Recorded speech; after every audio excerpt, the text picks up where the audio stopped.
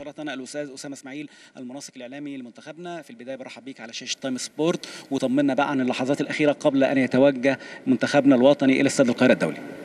آه إن شاء الله خير بإذن الله رب العالمين. أهلا وسهلا بك أحمد. آه ال- ال- الفريق دلوقتي بيستعد إن هو يتناول وجبة الغداء. آه إن شاء الله هو البرنامج اللي هو المعتاد اليومي بس طبعا النهارده أساسا في أعلى درجات ال- التركيز والهدوء أيضا. آه في محاضرة فيديو آه قبل ما يتوجه اللاعبين للملعب آه وإن شاء الله آه يعلن التشكيل في موعده القانوني قبل 90 دقيقة من من بداية المباراة حسب ما هو متفق في الاجتماع الفني.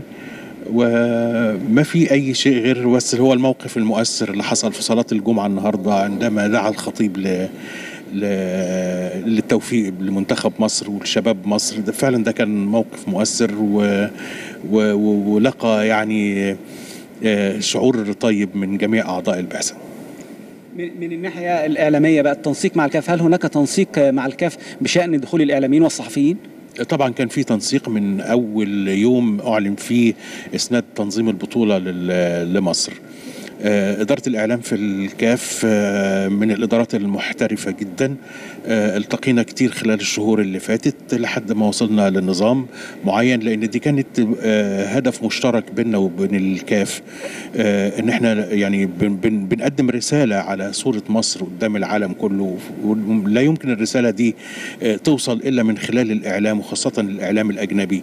وطبعا وإعلامنا المحلي كله بيصطف حول آه، منتخبنا وحول تنظيم مصر للبطولة أعتقد إن إدارة الإعلام في الكاف قامت بدور مهم جدا في المسألة دي. في ترتيبات في ترتيبات أمنية وترتيبات آه، سياسية ومن كل من كل النواحي.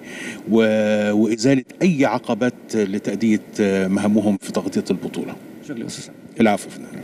اذا ده كان لقاءنا مع الأستاذ أسامة إسماعيل الناقد الرياضي والمنسق الإعلامي لمنتخبنا الوطني لكرة القدم والآن عودة للاستديو واستكمال برنامج باقي فقرات برنامج العبها صح بشكرك شكرا جزيلا زميلنا العزيز أحمد المسيري.